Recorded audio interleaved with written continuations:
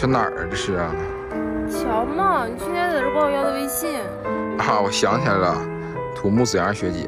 嗯，那时候我们班在这做测量呢。真想起来了？真想起来了。那我穿的什么衣服呀？你穿的是一个灰色的西服外套，还有一个黑色的靴子，对不对？那学弟怎么加我微信，不跟我说话了？那个时候太害羞了，不知道第一句说啥。可能是学弟加的学姐太多了，我真是失控学姐，我不养鱼，你别这么说我。不是你来太晚了，我大四了，快一会儿就毕业了。不晚，一年时间很长的。那我等了你多久？你等了多久啊？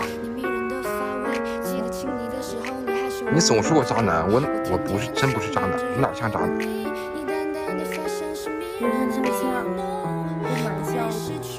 都蛮像的。要是能早点认识就好了。我明天迎新，你跟我来呗，让你看看新来的学弟们，挺帅。可是我不喜欢学弟呀，明天再说吧。